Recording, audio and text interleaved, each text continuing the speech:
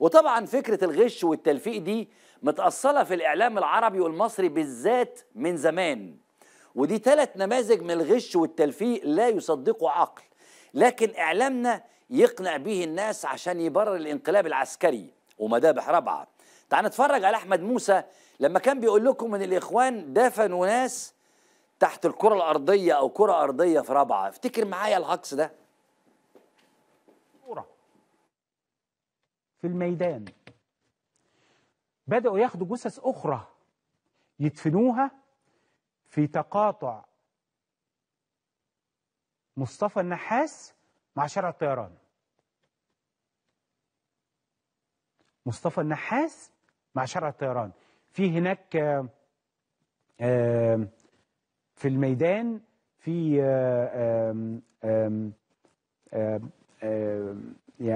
كرة أرضية تقريبا أسفل هذه المنطقة.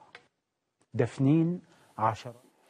وما تحرجش نفسك وتقول لي فين الكرة الأرضية لأن هقول لك في حتة وحشة قوي ما أنت اللي صدقت. الكرة الأرضية الحقيقة بعد ما وضبوا الميدان لقوها وادوها لأحمد موسى. الغيطي كمان كان بيقول إن الإخوان هم سبب سقوط الأندلس. اسمع الغيطي بيقول إيه؟ الأندلس. سيعلم إن الإخوان المسلمين ودوروا ورايا في الكلام ده كانوا هم سبب سقوط الأندلس. آه والله تاريخ الأندلس. آه والله الإخوان المسلمين اللي بدأوا في العشرينات الفكرة اللي انتهت اللي في العشرينات أسقطوا الأندلس من حوالي 900 سنة أو 800 وحاجة سنة. الغيطي نفسه الحقيقة فتى فت يعني حاجة معاصرة بقى. واتكلم على اسر قائد الأسطول السادس الأمريكي. افتكر معايا كده. اللي قالته كلينتون إنه الطيران المصري حلق فوق الأسطول السادس الأمريكي اللي اتحركت منه عدة بوارج من مقره في نابولي جنوب إيطاليا. الطيران المصري حلق وأبدى استعداده للضرب والضفادع البشرية الأبطال العظام المصريين تحت إشراف البطل الفريق مهاب مميش. عشان ما هو ما حدش يعرف الراجل ده عمل إيه. ونزلوا تحت البوارج الأمريكية وطلعوا أسروا قائد إحدى البوارج وكان ساعتها جنرال مصري عظيم مش هقول اسمه عضو المجلس العسكري مجلس اعلى القوات المسلحة آسف.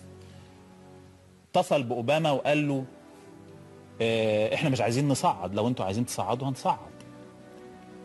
وقال له آه، آه، رسالة السيسي إنه فورا الأسطول يبعد خارج المياه الإقليمية المصرية والا هنعلن للعالم اللي إحنا عملناه فيكم. علم أي حجازي طلعت؟ وناس كتير أمريكان كانوا ممسوكين في المعتقلات طلعت لكن ترامب نسي يطلع قائد الأسطول الأمريكي لحد دلوقتي.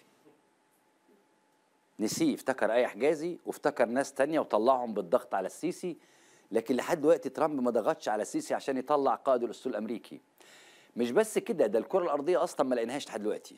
الإعلام المصري الحقيقة واخد الغش وراثه من أيام عبد الناصر اللي سوق لنا طيارات وغواصات وصواريخ ومركبات فضائية على إنها إنجازات وكل ده كان خداع وغش لنظام فاشل خايب. الحقيقة ما ذاكرش أسباب التقدم بجد وحب يغش الناس ويكذب عليهم فطلعت الأكاذيب دي. برنامج الجمهورية العربية لغزو الفضاء. اديها بقى غزو مصر ثالث دولة في العالم. بدأت المعركة إسقاط 43 طيارة العدو. وكلام بقى من ده وطلع وعملنا قطر يعدي من اسكندرية للقاهرة في نص ساعة. وغواصة عملناها والرائد صاروخ جديد. وحاجات بقى يعني من أيام عبد بص قواتنا تتوغل داخل إسرائيل. يعني الحقيقة حررنا القدس سنة 67 سفينة الفضاء المصرية. وكلام من ده كتير جدا. من أنواع الغش يا حضرات برضو إنك تبقى فاشل في إدارة البلد فتطلع تغش إنجازات وتكذب على الناس إنك هتعمل وأنت ما بتعملش حاجة أصلا. عشان أنت مجرد حاكم فاشل زيك زي الطالب اللي كان بيتكلم ده من شوية. السيسي الفاشل لا يقل الحقيقة عن الطالب ده اللي كان بيتكلم من شوية ويقول لك بلاها مذاكرة. الخلاصة إن الغش في مصر أسلوب حياة. وزي ما ممكن تدين الطالب اللي عرضنا الفيديو بتاعه من شوية اللي عايز يسرق مجهود الآخرين وياخد حاجة مش من حقه ويخدع أهله والمجتمع. محتاجين برضو ندين النظام عسكري فاشل. قام من أول عبد الناصر لحد السيسي على الغش والخداع وسرقة إرادة الجماهير والكذب والتلفيق. وجريمة الأنظمة دي الحقيقة إنها سرقت الحرية وغشت الناس وكذبت عليهم. وده اصل الشرور ورأس كل خطيئة. الغشاش يا حضرات مش بس الطالب اللي كان بيتكلم من شوية السنة اللي فاتت ده الغشاش هو الخسيس الخاين اللي انقلب على كل الطيارات اللي جابته. الغشاش هو اللي يبيع دينه وضميره عشان يقعد على كرسي الحكم. الغشاش مش بس الإعلامي النتن اللي بيقص ويزيور فيديوهات عشان يشوه خصمه. الغشاش كمان هو المطبلاتي اللي بيغش في الكلام عشان يكسب منصب جنب عبد الفتاح السيسي. الغشاش هو اللي بيضرب تصريحات ينيم بيها الشعب عن وباء زي كورونا أو ينيم بيها الشعب يا حضرات عن موضوع السد. الغشاش يا حضرات طاعون بينخر في عظم المجتمع.